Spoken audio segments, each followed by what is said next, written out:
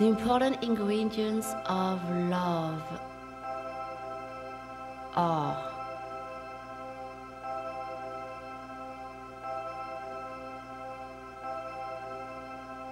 um,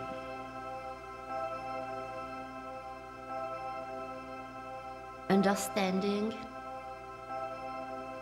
open mindedness.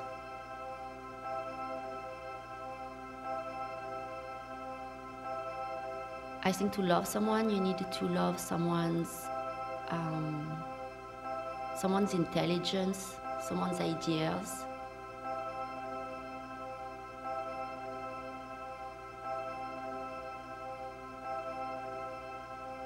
I probably forgot a lot of things, but uh,